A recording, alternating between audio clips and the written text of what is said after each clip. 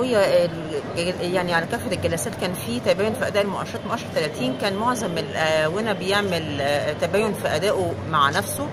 ممكن يبقى أول الجلسة عامل ارتفاع يبقى آخر الجلسة على انخفاض هو كل اللي ارتفع خلال جلسات الأسبوع هم 100 نقطة. 13000 نقطة بقت نقطة محورية منطقة مقاومة عالية جدا جدا. كل ما المؤشر يرتفع إليها بيرجع ينخفض منها بسبب الضغوط البيعيه من قبل المؤسسات المالية المحلية والأجنبية.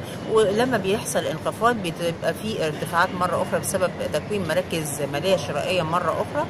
ولكن هي 13000 نقطة مش عارفين نتعداها بقالنا فترة من الزمن تتعدى الأسبوعين لغاية دلوقتي. بالنسبة للأسبوع القادم هو بيبقى دايما المؤشر 30 في يوم الأحد بيبقى مش واضح الرؤية بالنسبة ليه بيبقى موضوع جس نبض نوعا ما لأن بيبقى المؤسسات المالية العربية والأجنبية عاملة نوع من جس النبض ونوع من البانيك ما بتبقاش شغالة بالقوة القصوى بالنسبة لها ولكن أتوقع أن يستمر قطاع العقارات وفي ادائه الجيد وتستمر المتاجرات في متاجرة جيدة وده اللي ممكن يخلي المؤشر 70 يتفوق على المؤشر 30 وده كان بيحصل في جلسات الأسبوع اللي قبل اللي فات.